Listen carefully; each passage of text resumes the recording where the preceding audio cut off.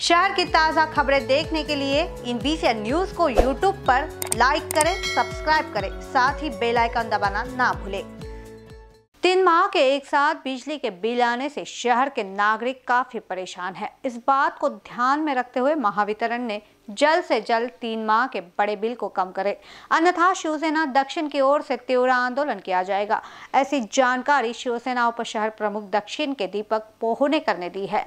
इस मौके पर उनके नेतृत्व में महावितरण को ज्ञापन दिया गया है। लॉकडाउन के चलते हर कोई अपने घरों में बैठा है। ऐसे में महावितरण की ओर से पिछले तीन महीने का बिजली का बिल लोगों के पास आया हुआ है। इस बिजली बिल में बिजली के दाम काफ़ी बड़े हुए दिखाई देते हैं। ऐसे में दक्षिण नागपुर शिवसेना उप शहर प्रमुख दीपक पोहनेकर, इन्होंने अपने तमाम शिव सैनिकों के साथ महावितरण के मुख्य अभियंता को एक ज्ञापन दिया, जिसमें आए हुए बिजली के बिल को कम करने की बात कही गई। बढ़ते बिजली के बिल को लेकर शहर के नागरिक काफ़ी परेशान है। ऐसे में शहर के नागरिकों को क्या करे और क्या न करे जैसी स्थिति उनके सामने में खड़ी हो चुकी है।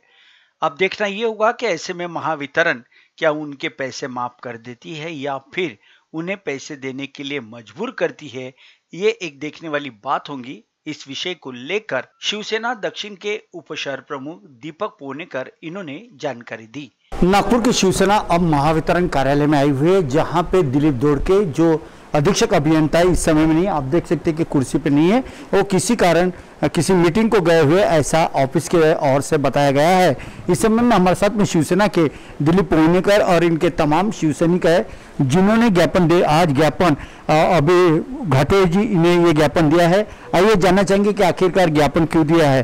और क्या कहना चाहेंगे दीपक, आप जिस प्रकार से आज ज्ञापन दिया है यहाँ के घाटोळे साहब को? सर्वप्रथम मी त्यांना निवेदन दिलं आहे की आता जी परिस्थिती सुरू आहे कोरोनाची त्याच्यामुळे त्या करोनाच्या महामारीमुळे नागपूर शहरातल्या जनतेच्या सर्वसाधारण सर्व लोकांच्याच पैशाचे खूप हाल सुरू आहे. त्यामध्ये तीन महिन्याचं बिल एकदम आलेलं आहे आणि बिलचा दरही वाढलेला आहे. इतकं जास्त बिल आलेलं आहे त्यामध्ये लोकांजवळ पैसे नाही आणि त्यामध्ये एवढं बिल आल्यानंतर त्यांना हा खूप मोठा त्रास आहे. त्यासाठी आम्ही निवेदन दिलं की बिलामध्ये असं झालेलं आहे की स्लॅबच्या हिशोबाने नाही आहे तीनही महिन्याचं बिल एकत्र करून रिडिंगचे एकत्र रिडिंग लावून त्याच्यावरती चार्जेस लावून ते बिल आलेलं आहे. बढ़ते बिजली को बढ़ते बिजली के दाम ये नागपुर के नागरिकों के लिए सिरदर्द बना हुआ है। यहाँ पे महावितरण के आ, कुछ अधिकारी घाटोली जो हमारे साथ में घाटोली साहब ये बताइए जिस प्रकार से महावितरण द्वारा बढ़ते बिल नागरिकों को जो भेजे गए इसमें क्या, ऐसा क्या हुआ कि जिसकी जितने बढ़ते बिल आए क्या वजह क्या है?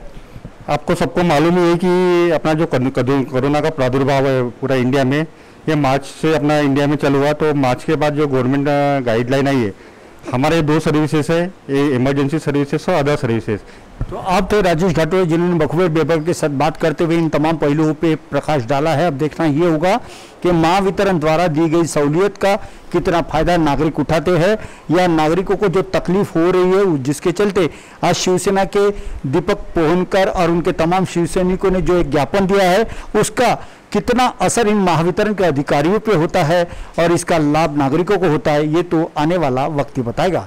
नागपुर के महावितरण कार्यालय से कैमरा पर्सन सुभाष बुटले के साथ संजय मिरे इन न्यूज़, नागपुर।